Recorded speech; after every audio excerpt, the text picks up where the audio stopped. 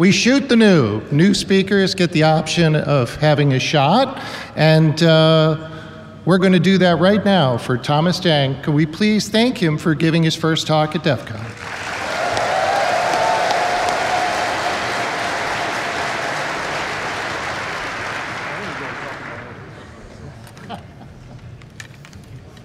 All right, can we It's, it's, it's a bit it's a bit late to be worrying about drunk during your talk. Can we flip the slides on? Thank you. So,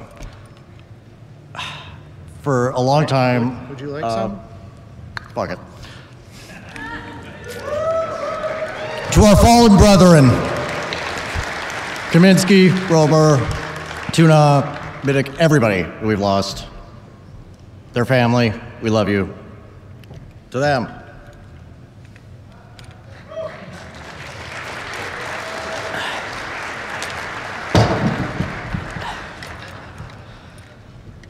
All right. So, damned if you do.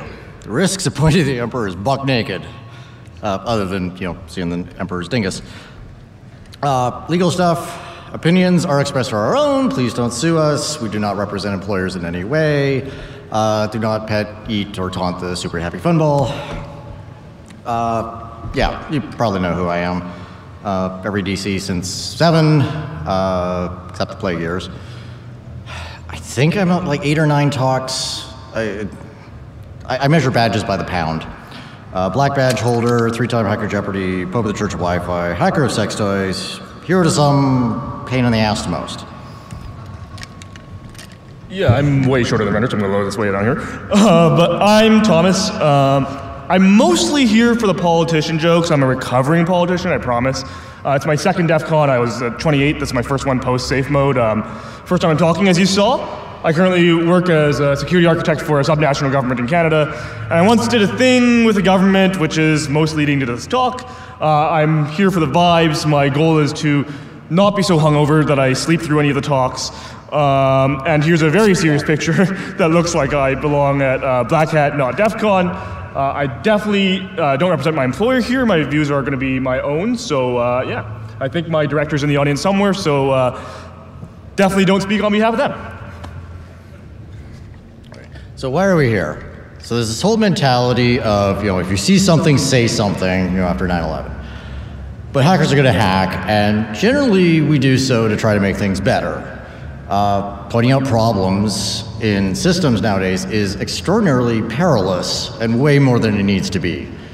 Uh, we've both had run-ins with these issues with our local government, and you know, here's me, you know, well-known researcher and a actual like elected politician, and we still run afoul of these things. There's a problem here. Uh, we are Canadian, so sorry, uh, but this applies to like most countries and jurisdictions. Um, so let's let's learn from some mistakes, uh, fix the legislation and policies, and hopefully we can now get back to like the bigger problems we actually need to be solving. So, why do I care about things like this? So I was employed at a bank called ATB Financial in Alberta, uh, senior security analyst, kind of a dream job. I got to say, you know, I hack banks for a living, and in the evenings I hack sex toys. Like, who gets to say that? Uh, September 2018, at our local B-Sides, I gave a talk basically about why we can't have nice things. Uh, the day, uh, the first day of the conference, the CISO for Service Alberta gets up there uh, on a panel and says, "Oh yeah, we scan our stuff all the time and are constantly patching." Well, I'm in the audience. I get on a Shodan on my phone. I'm like, uh, "No, you don't." So I put some of this into my slides uh, for my talk the next day. You know, I gave him a heads up saying, "Hey, this is I'm gonna do this. Are you okay with this?" He's like, "Sure." Um, threw this stuff into my, my slides last minute. Uh, there was open printers, you know, where you could see the logs of what had been printed and emailed. Uh, end of life servers, servers 10 years behind on patching. Um, sent them the data immediately afterwards. Thought all was well. You know, met uh, met with him a week later for lunch. You know, he's like, "Oh yeah, that was cool. You know, you know, you ruffled some feathers, but it's all good." Well, all was well, but ATB Financial is what we call a crown corporation, so it's technically owned by the government. It's run like a regular corporation, but the government still has some some hooks in there. It's supposed to be arm's length, but that's a, apparently a very short arm. Uh, Service Alberta, the department, owned the government of Alberta's IP address space, but they basically handed out addresses like an ISP. Uh, they would hand them out to other ministries or agencies. They had absolutely no oversight or control over what they did with them. There was no central policies for security or anything like that. Um, this caused an absolute panic across the cha uh, chain of command at the government of Alberta that I was had pointed out, you know, that the emperor had no clothes. Uh, emails were sent, calls were made, meetings were held, and I suddenly found myself uh, without a job. Uh, they got me a code of conduct violation of causing embarrassment to the organization, which I find very humorous considering some of the other crap that I pulled that they didn't fire me over. Um, so yeah, they, they, they uh, suddenly gave me a lot of time on my hands, which is never a good idea, as my wife can attest. So I began to dig into the problem on Shodan further, more than I could just you know do on my phone in the audience. Uh, 150 hosts, 3,200 vulnerabilities later, just from Shodan data and like you know looking at server headers. Uh, F5 admin console, uh, login pages, publicly facing, uh, uh debug interfaces. There was a Lansweeper default install with click button to log in as administrator. You know, um, heaps of unpatched servers and end of life stuff. It was it was like embarrassing to be from Alberta in this case. Uh, documented as much of this as I could with Shodan links, you know, saying, hey, this is all public.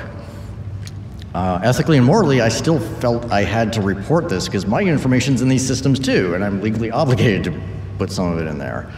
Uh, but there was no official reporting channel for Government of Alberta systems because every ministry and everything like that was a silo and it wasn't apparent who owned what. Um, the buck stopped nowhere knocked on a lot of doors to get attention to the matter, handed over the data to a couple of different uh, uh, departments and agencies, but little or no action. Uh, I got the public interest commissioner involved. Uh, they're the ones that look for like fraud and, and graft and waste and stuff like that. Um, they didn't really take me seriously until I pointed out there was 70 vulnerabilities in their secure reporting website for whistleblowers. That got their attention. Uh, they leaned on the government to do something. Uh, I think it was a case of either we have you stop everything and we do an investigation for six months, or you acknowledge yes, there's a problem and just work on you know solve this. Uh, finally got a paper letter from the Service Alberta CISO's office saying you know please report vulnerabilities to this email address, and you know this is your point of contact, uh, which I very promptly did uh, in February 2019 and waited. Their publicly available policy said they will fix criticals in 30 days. Now, whether or not that policy was meant to be publicly available on that website, I don't think so. Uh, but 21 days uh, later, you know, we're a couple of weeks away from an election at the time. 21 days, they, they hadn't done anything. So I, I'm like, hey guys, uh, just so you know, uh, morally and ethically, I have no problems uh, going public with this after 30 days. Well, they took that as a threat. And I mean, one can debate you know, my judgment and my phrasing of, of things, you know, that, that's a whole other talk. But uh, they called the cops on me. The, the city police, computer crimes investigators, you know, wanted to have a chat about threats I had been making. Uh, agreed finally to, to uh, be in a public coffee shop, you know, where there was cameras and, you know, of course, caffeine.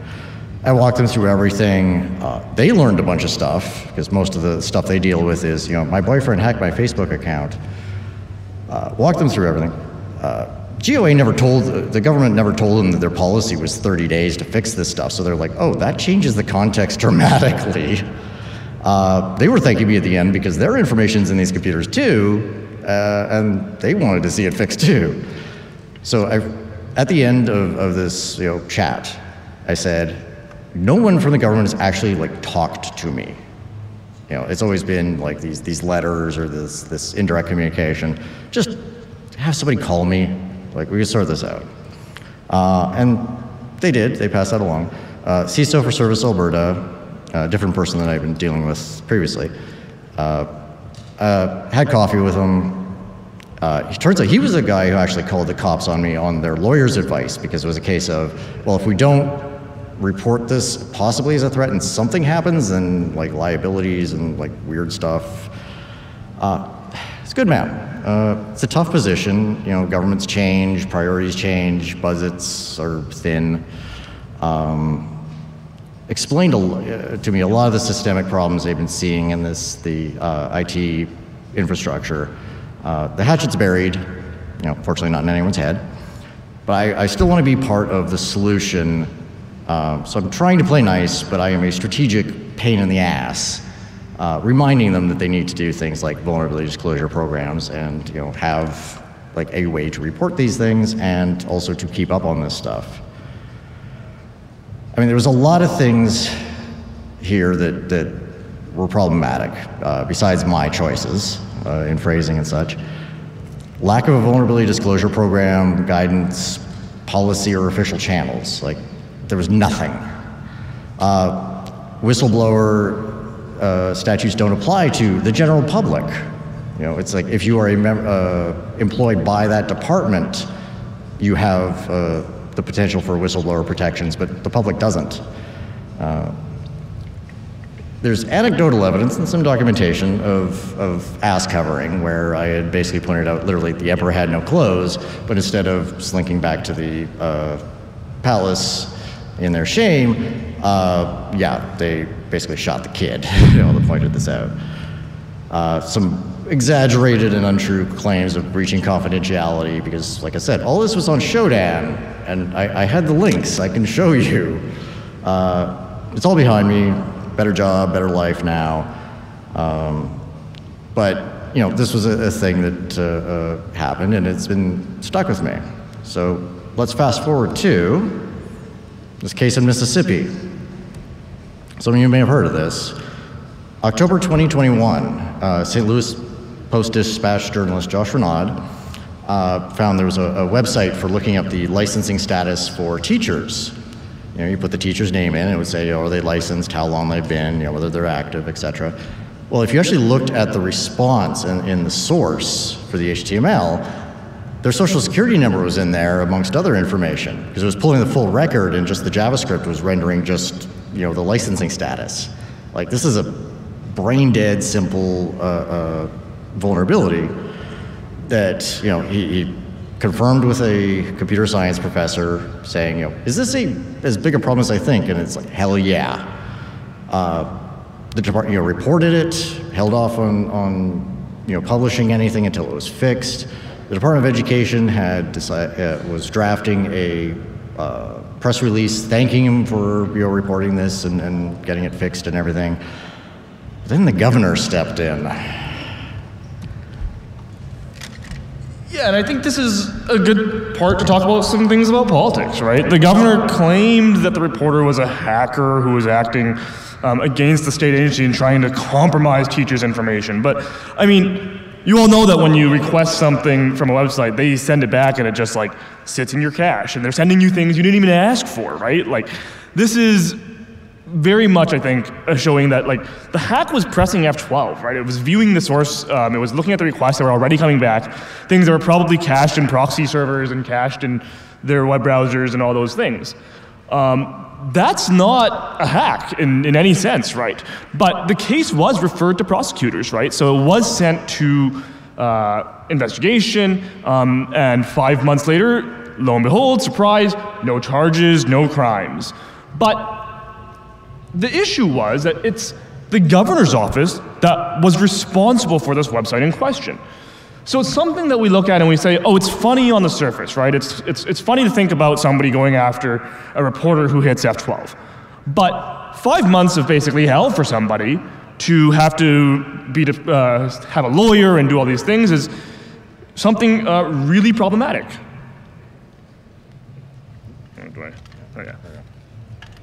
Oh. Uh, so let's talk about what happened with me. Um, it's September 2021. It feels like year 345 of the pandemic, even if it's only like day 345. But vaccines are rolling out uh, in, in, most areas. They're, we're not out of the woods yet. People are getting their first dose ish. Um, and in Alberta, the Premier Jason Kenney declares that it's the best summer ever. Uh, and he rolls back all COVID restrictions. Now, we know how that goes in most jurisdictions. It's not different in Alberta. Um, and by September, things are worse than ever. I'm an elected official at the time, and um, uh, the premier, Kenney, had stated that there would never be vaccine passports, right? Um, so instead, in the fall, they bring in the restrictions exemption program. So everyone still needs um, proof of vaccination, but in the REP, uh, if you do that, now you can go to things that you wouldn't be allowed to go to if you didn't have your proof of vaccination. So it's not a vaccine passport, it's just a pass that allows you into places if you have your vaccine. Um, but everybody needs this proof. The online health records portal that we have, um, that already existed to display your health records, was slammed and not working. So they needed to build a portal that could retrieve these vaccinations very, very quickly. Um, and that first release left a bit to be desired.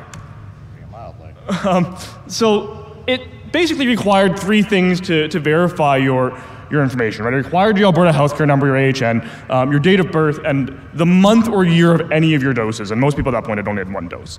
So the original site, when you put in your information, spat, out this unsigned, unlocked PDF. Uh, no way to verify, no QR code, nothing. Um, and people were on Twitter basically immediately putting any type of name, any type of vaccine that they received, whatever, all over the PDF because that's the only thing it was. It was just anybody could print it out. Uh, but looking deeper, there was some other problems. There was room for things like uh, maybe some sort of enumeration attack because date of birth and dose dates, if you do any OSINT on anybody, um, those are pretty easy. Most people are posting their uh, doses on social media at the time, right? They do those videos of them spinning their arm or whatever, right? Um, and there's only one thing that's unique here, and it happens to be a piece of PHI, right? It happens to be your Alberta healthcare number. Um, the Alberta healthcare number is, I think it's nine digits, but it has a check digit as well, so that space is actually quite a bit smaller. Uh, and I received some concerns from an Albertan who, who knew that I had a computer science background and said, hey, like, I think this type of attack, this brute force enumeration, might be possible. Um, I decided to take a look. And I wrote a very simple script. I think uh, I described it to the cops as a high school level script. It was a little Python script. It had uh, some, the site had some IP based rate limiting, but no other controls to speak of. Um, that's a pretty simple solution, right? You just pipe it through the Tor proxy you got running anyways. Um, and what I did is I decided, well, you have to minimize the impact, right? When you go and do this type of investigation, you don't want to uh, actually uh, have any type of PHI that could be dangerous leaked. So I tried to use uh, the premier's date of birth, which was public records on his Wikipedia page, uh, used a vaccination date, which or month and, and year, which was on Twitter, um, and you know many requests later, a couple days later, got a hit. Um, script just ran by itself. Uh, wasn't him. Point proven. So I reported it to one of our staff members um, had them figure out who to report it to officially, um, and I basically forgot about it. Within about a week or a week or two later, they quietly made the change, put in a CAPTCHA, put in some controls on, on things like uh, geofencing, and things seemed fine. Um, then comes December 2021. I'm, I'm away on a ski trip because uh, it's December and I want to go skiing. Uh, my sister's isolating. She's traveling home uh, to visit us and in, my house. And the RCMP decide at like 6.30 or 5.30 in the morning, something like that, that they've got a search warrant, they're going to raid my home. So uh, not a very happy sister um, when they're in your house trying to sleep at 6.30 in the morning and uh, the RCMP flash badge at the door. Um, but I do have some very nice doorbell footage of police trying to serve a warrant on me. Um, and they were serving an investigation under the Health Information Act of Alberta, HIA, uh, which basically says no person shall knowingly gain or attempt to gain access to health information in contravention of the Act. Attempt. Attempt is uh, going to be a key word here. Um, there's no wiggle room or, or anything or understanding for uh, good interest or uh, public interest in, in securing records and things like that. And it becomes a bit of a problem, obviously, uh, hence why I'm here. Um, but um, we can note that, of course, the, the Health Information Act does uh, require custodians and affiliates of custodians of the information to take reasonable steps in accordance with the regs to maintain the technical, administrative, physical safeguards and protect against anticipated threats, right? So this is something that they should have anticipated. A reasonable person would say, like, yeah, this is a normal enumeration issue. Yeah, like, there should be types of controls against this. Um, but basically, it concludes after a year or so of investigation, going to court, lots of lawyer fees. Um, no criminal charges, and, and I paid a $7,500 Canadian fine, uh, so like 5,000 American or something, um, for breach of the Health Information Act, uh, which was that attempt to access records part. Uh, I did step out of my caucus and uh, I didn't seek re-election when the election came around in May of 23, 2023. So, so what are the what are the problems that are existing here? Uh, you have governments advocating for people to report risks uh, that they see on one hand out of abundance of safety. They'd rather have a bunch of false alarms and rather than you know potentially miss something.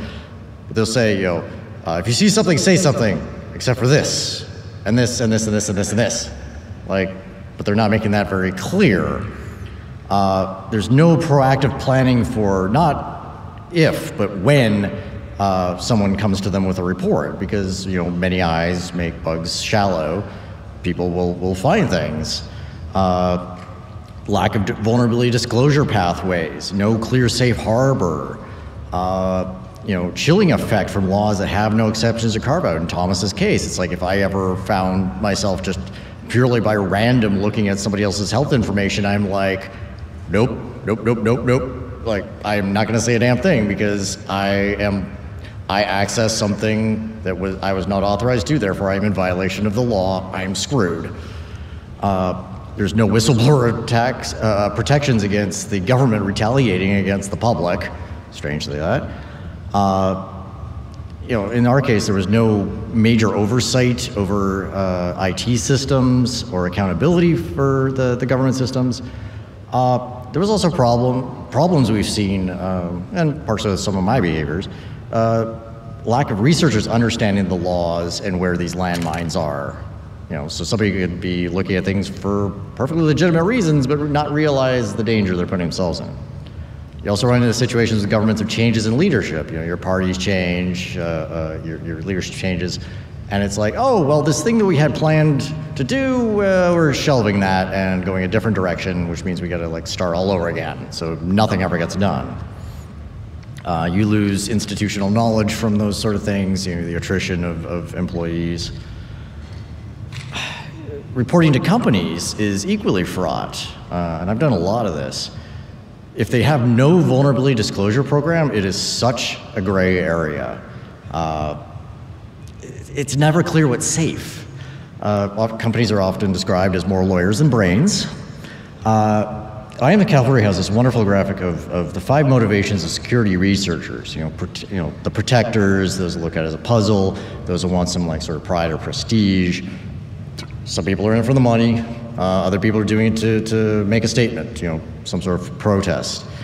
Uh, those are not understood by business very well. They uh, don't realize that most of those are actually fairly altruistic and, and their benefit. Um, some genu- you know, some of my other research, you know, uh, these companies are genuinely naive. They don't understand the security problems, and that's okay. You know, we, we do need to educate them. So many others really should know better. So let's talk about some of the problems we have with researchers. And um, like I said, I'm a recovering politician. I know all about ego and bravado. Uh, but it's a problem, right? It's, it's a real problem because this lack of transparency on where these lines are going to be if there's no VDP, vulnerability program, um, means that there's going to be times where people are unintentionally crossing lines, right? So we have to understand that there are instances where these researchers aren't going to even understand what they should look at.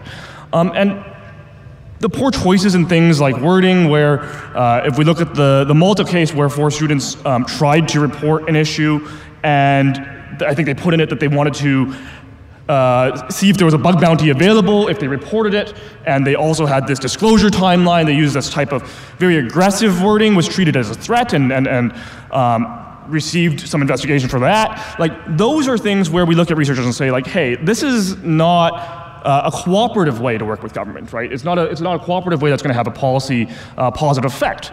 So there's this desire for that publicity, right? It, it, it, also is a problem when researchers just don't understand the laws, right? They don't understand which types of information might be radioactive in a way, right? Uh, PHI um, or other types of information. Um, and the other thing with researchers is sometimes researchers have a lack of empathy, right? Because organizations are oftentimes genuinely either naive or under resourced, right? You're talking about a security team of only maybe four or five people. I think the Alberta government one is still uh, comparable size to that. Um, and, and you're looking at an organization with thousands of employees and thousands of servers across multiple departments, right? Like, it becomes a real problem. So there's this reliance on this sort of deadline and, and an inflexible process that leaves no nuance for how can we work cooperatively with the government on, on, on improving these policies, improving these sort of um, issues, because the government is going to be forced to take a cookie cutter uh, response, right? They're going to be forced to call the lawyer because now you've emailed them this thing, and the lawyer says, well, we have to report this to the police, and then the police go, well, now we have to search this person's home, right? It, it becomes a whole, it becomes a whole issue. So, some government agencies and, and businesses are getting it. Uh, May 2022, uh, DOJ announced a policy not to charge uh, good faith researchers. They'll still investigate, but the prosecutor, prosecutor, prosecutor discretion uh, says, yeah, you have, if somebody's doing good and you know they're following rules and everything like that, yeah, they may have stepped on a line, but you choose not to, to prosecute. This is a good thing. Um, I was reminded uh, yesterday at B-Sides that when Keith Alexander was speaking at DEF CON, he said, you know, what do we need to do to get more more people into the service to to help secure everything? And somebody shouted, "Stop arresting researchers." Um, CISA has been doing some amazing work on this, and I've been talking them the last couple of days. I wish I could have updated the slides uh, till now. Uh, but they've got like vulnerability disclosure templates for all the federal agencies. It's like you know, fill in blank, and boom, you have you know a policy and a, a template. Uh, CERT has a, a, guide to coordinate vulnerability disclosure. Uh, many uh, organizations have vulnerability disclosure programs with safe harbor carve-outs saying, you know, if you report things through this method and you adhere to these, you know, restrictions like, you know, don't go public with it until we fixed it, et cetera, you know, we, we, we promise not to prosecute you. Uh, I'm the Cavalry has done amazing work in this category. Uh, initiatives like the security.txt uh, uh, RFC, uh, this needs to be a thing where it's like a place where security researchers know they can look to, for who to report stuff to. So you don't have to have a big, you know, thing in your, your, your website, but it's like if you know, you know where to look and, and can get the information to the people who can actually fix this stuff. Uh, Amit Elazari, I actually spoke to her yesterday. She's been doing a bunch of work on Safe Harbor, and apparently she actually knows a bunch of her uh, the Canadian counterparts there is going to be leaning on them fairly extensively uh, to get some of the same stuff put in. So, like, yay!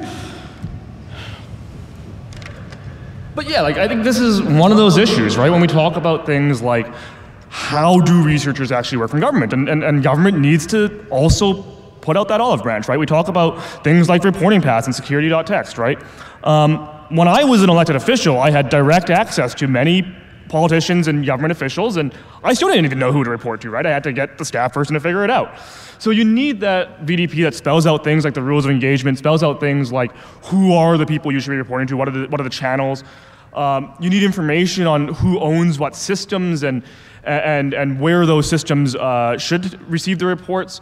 Um, and we need to look at things like legislative changes, right? We need to look at changing some of the laws that are basically saying uh, all or nothing, right? If you, if you do any type of research, any type of accidental access or disclosure, um, then you're going to be prosecuted, right? The HIA has that attempt to access clause, for example, right? Like those are the types of issues where we need to start looking at what are the opportunities to make revisions that are more fitting with a modern security framework in mind.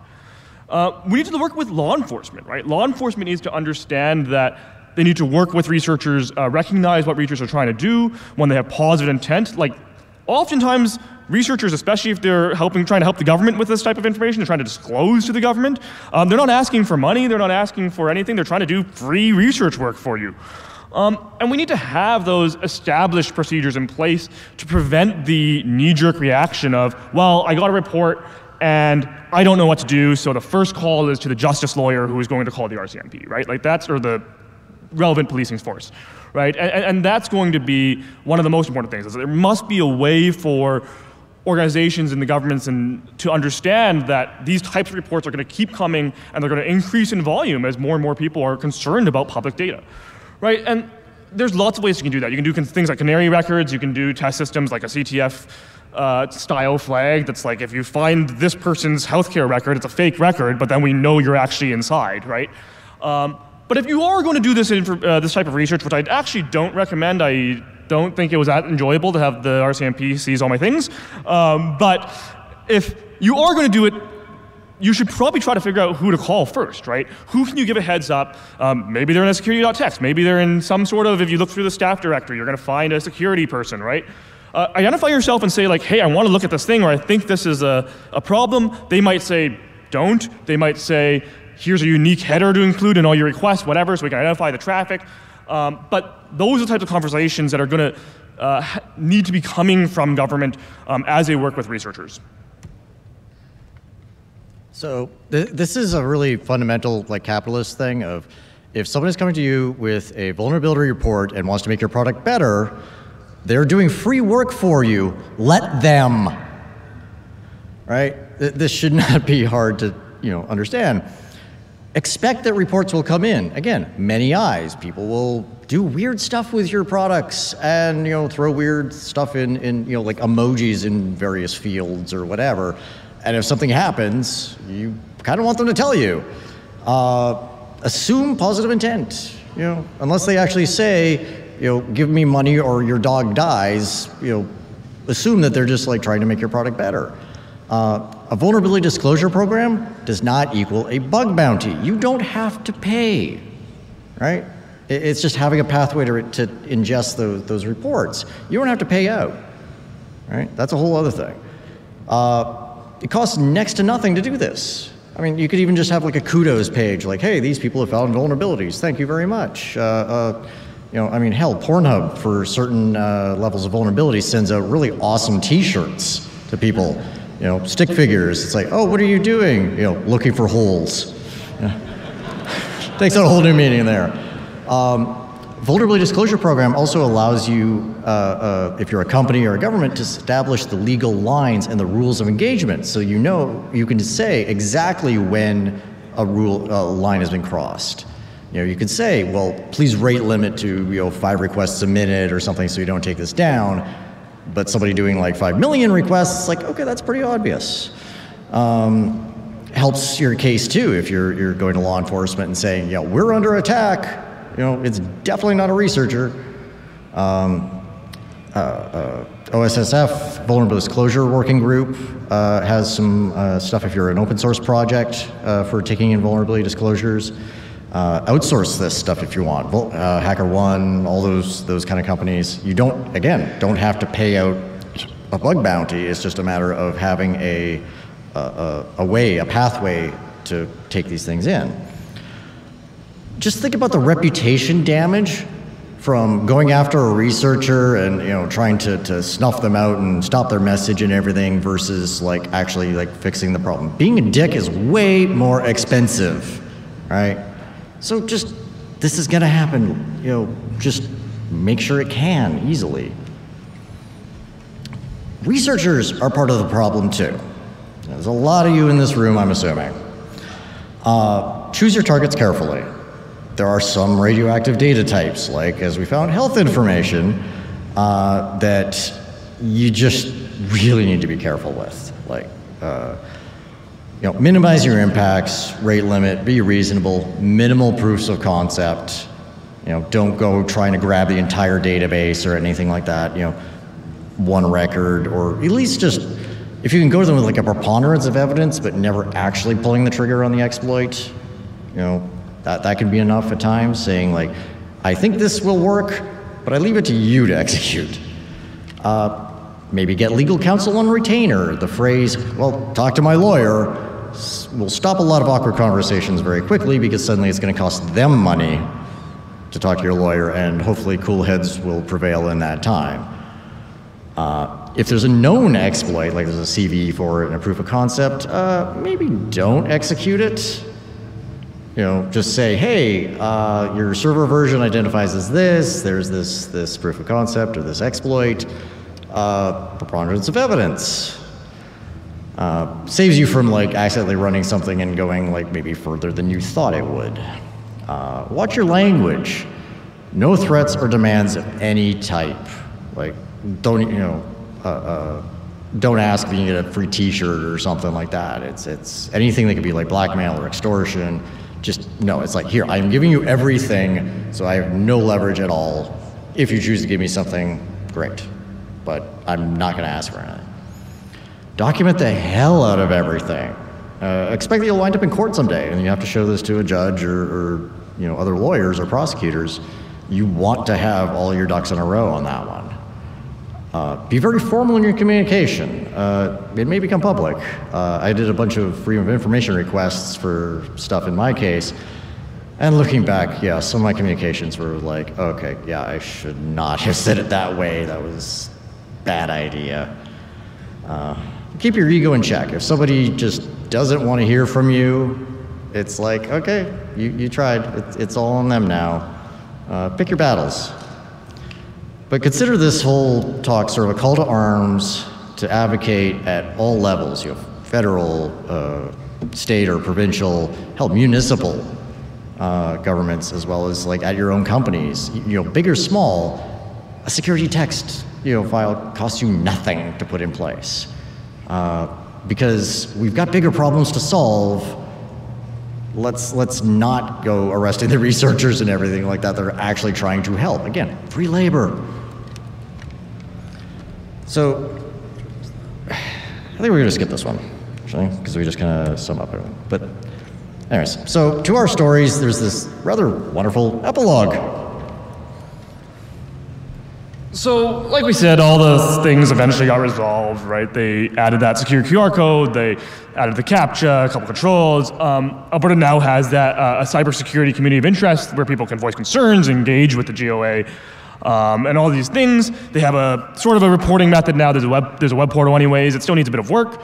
Um, but we are working with some politicians in Alberta, some of my former colleagues, to see about having some of these changes brought in legislatively. Um, and we're hoping to continue engaging, as, as Render was saying, with some law enforcement agencies and all those types of things uh, to bring about more federal uh, changes. So, since 2018, uh, I scared them enough to open up their wallets. Uh, the threat intel team was massively shaken up uh, and reorganized because apparently they missed a bunch of things.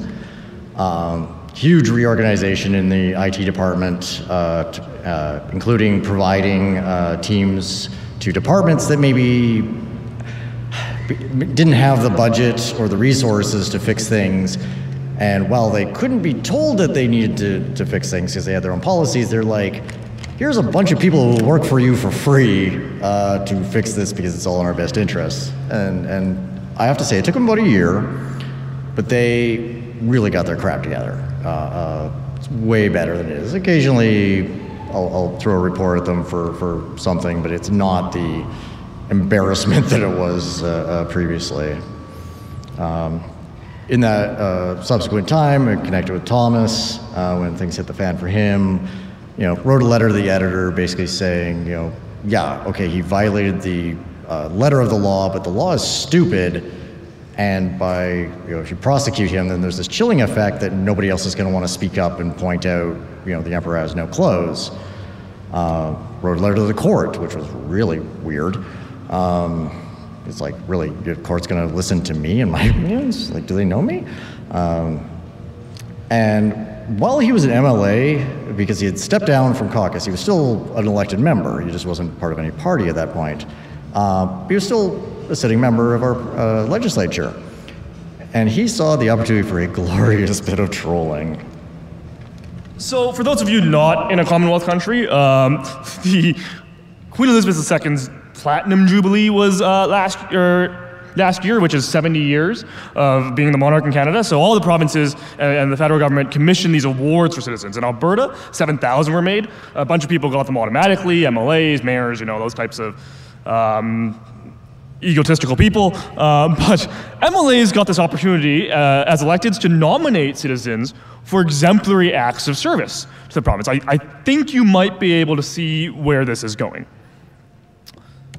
So, why don't we nominate somebody who found and report a bunch of vulnerabilities to the Alberta government in 2018 19? They gave me a fucking medal. Uh, I, I will point out, Render originally thought the email from my office was spam. Well, It, it- was like, hey, you've been nominated for an award. Please give us all this personal information. I, I only asked for like birthday, social security number, you know, all the normal things you need to give out an award. Um, but the same government that didn't need render services anymore uh, was going to honor him with this distinguished medal, uh, and then you can see how he dressed. Yeah. Yeah, so that's a, a Joker inspired suit, by the way. Um, and we had the opportunity to, uh, I, I had a certain number of guests that I could invite. And uh, Thomas was kind enough to put on letterhead, all official, uh, a invitation to the CISO of Service Alberta, who had called the cops on me as one of my invited guests to the ceremony. He was unfortunately uh, in Vancouver uh, giving a speech, uh, but uh, he couldn't attend. But he, he, he appreciated, you know, the, the, the whole humor in this and, and everything, the irony. Uh, Evil Mog, the uh, Church of Wi-Fi's uh, bishop, uh, a friend of mine, uh, was also given an award in this too. So two of us have this service award. Uh, but yeah, since medals are being given out quite generously, uh, we figured we should continue to do so. Yeah. So we have the, the Church of Wi-Fi DEF CON Medal of Service uh, awarded to those who are providing service to others in the community. Uh, I made these on uh, my CNC at home. Um, they are janky as hell, but uh, made about 220 of them, and we'll be handing these out through the week uh, weekend to those we see doing cool things. So if you got a really cool project, or you're like teaching a bunch of people things in the hallway, or like you buy us a lot of drinks or something too. You know, we'll we'll, we'll give you one of these. Don't so- buy the drinks all at the same time. Oh, God. 200 is uh, too much. Yeah. Um, so the, the outline ones are, are new service. Uh, the solid ones are going to people who've uh, uh, done me uh, uh, solids in the past, or like people who really are the ones that pull off DEF CON, like Nikita. Um, you know, they're going to get those. So, wow, five minutes left. I guess questions. Well, I, I, I- think, Thomas, um, you, you you should get the first one of these for uh, ex- excellence in trolling and uh, excellence in service to my ego. So, there you go.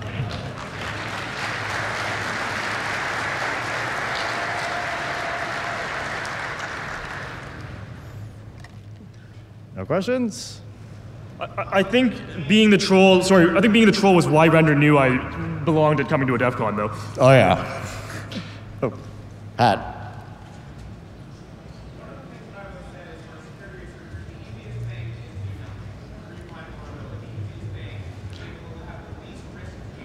Yeah, he's saying that as a researcher, the thing that will have the least risk to you is to do nothing. Problem is, I have unfortunately burdened with a conscience. So I, I see something like that, and it's like, I, I, I had to try.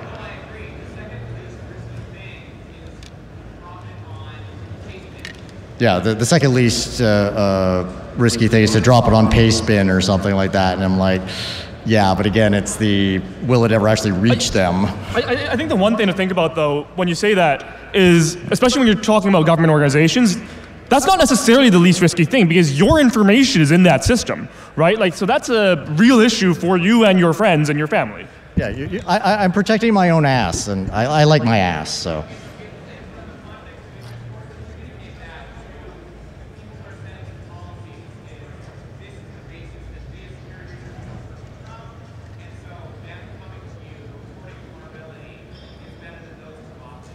Yeah, just basically pointing out to the government that uh, making it so that they that we could come to them uh, with a, a report is better than the other two options. And like, you're quite right. So, there's. Oh, As someone from the Midwest, specifically Missouri, I'm legally obligated to shit on Missouri as often as possible. So I must inform you that it is not Mississippi, it is Missouri in that case. so he's correcting me on which state that was uh, the case of. I mean, you guys have got way too many of them, and so many of them begin with M. So I'm Canadian, so I'm just gonna like claim ignorance or something here. So. I mean, keeping track of batshit insane states is like a full-time job. So. You know, one more, time for one more. Let me go here.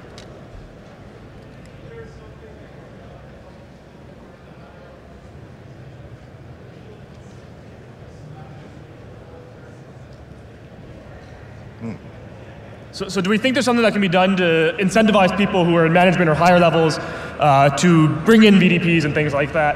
I, I, think that a big piece of it's going to be the legislation piece, right? Talking them saying like, hey, you need to have these systems in place. You need to have the policies in place that are going to allow this disclosure. Yeah, and if law enforcement, you know, steps in and says, well, if you have a way for people to report this stuff, uh, anybody who doesn't, it's much more obvious their their malicious intent actually might make prosecution easier in certain cases. Um, but also, I mean, never underestimate a barbed wire covered bat. You know, like just browbeat them into doing it because uh, uh, it's in their best interest to debt free labor. Like, we need thousands of security experts. Well, there's people lined up to do work for you for free. Let them. Thanks, guys. There you go. Thank you. Thank you.